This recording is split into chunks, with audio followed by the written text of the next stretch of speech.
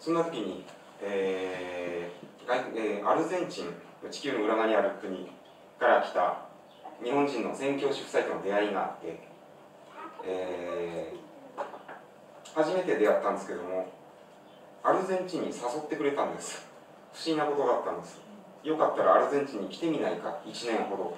もちろん1年ってなったら仕事辞めてその時の僕の覚悟としては全部捨てたつもりになっていかいくでないといけないなと思ったんですけれども嬉しかったんです。自分で自分の価値を見出せなかったんですけど少なくてもその宣教師先生は僕を見て僕に価値を見出してくれてるんだ僕が知らない何かの価値があるんだって思ってくれたから誘ってくれたんだって解釈をしたんです。なんかわからないけどこの先生についていってみれば何かが見えるかもしれないと思ったんです。それから結局行くことになるんですね。それが、えー2012年でした。一昨年ですね。えー、地球の裏側です成田空港を立ってイギリスからブラジルブラジルから今度そこの隣にあるパラグアイって国があるんですね。パラグアイの、えーエンカルナシオンアスンシオンアスンシオン空港っていうのがあるんですけどもそこに着いてからまたバスでちょっと揺られて、えアルゼンチンとの国境の町エンカルナシオンって町があるんです。そこからまたあこう兵隊兵隊さんがこう銃とか構えてる 国境を越えてその先にあるアルゼンチンのミシオネス州ってところに行ったんですね。宣教宣教師がいるところなんです。ミシオネス州って変わって面白い名前で宣教の地ミシオネスってところなんですね。その名前を聞いただけでも当時の僕は嬉しかったんですね。働いてても自分に意味がないと思ったけれど神様が用意してくれた僕だけの最善の計画がある。それがここなんだ。名前がミシオネスこれはいいじゃないですかと思ったわけですが、えー元気を礼拝を捧げて元気になるはずの場所の教会とか日曜礼拝って場所も使える場所でしかなくなってちゃったんですそうするとどこに行っても元気になりようがないっていうような状態ですね。それで家に行ってもこうスペイン語できるしえ教会に行っても結局辛いだけだってなってだんだんこう塞ぎ込んじゃってるような状態になっちゃって要は横浜で潰れてしまったような状態と一緒になってしまったんです思ったんです。なんでこんな大きいリスクを犯して地球の裏側まで来てまた引きこもりみたいな気持ちになってるんだろう。全然予定と違う。ここは自分の土地のはずだと思ってきたけどここは自分の場所じゃなかった。って思うようになるんです。じゃあ自分の場所って地球の一体どこにあるんだろうと思うんです。アメリカかもしれない。オーストラリアかもしれない。世界170カ国とかありますよね。もっとか。ありますよね。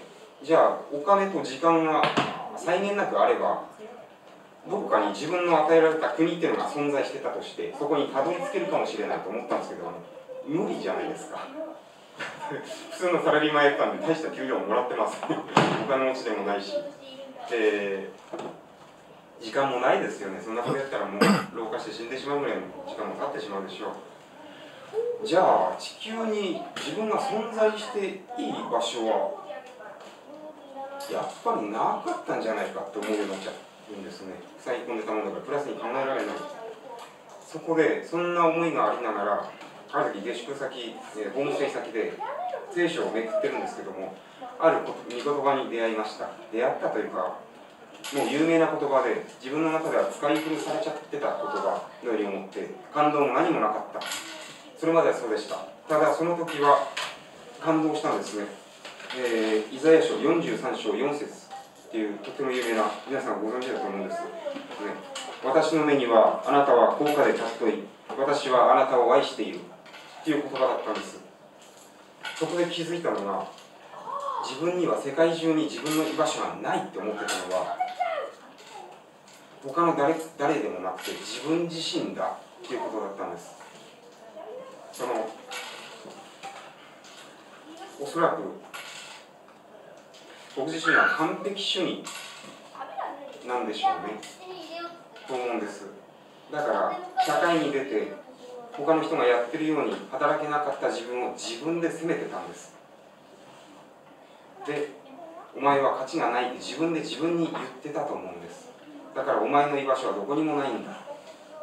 だったと思うんです。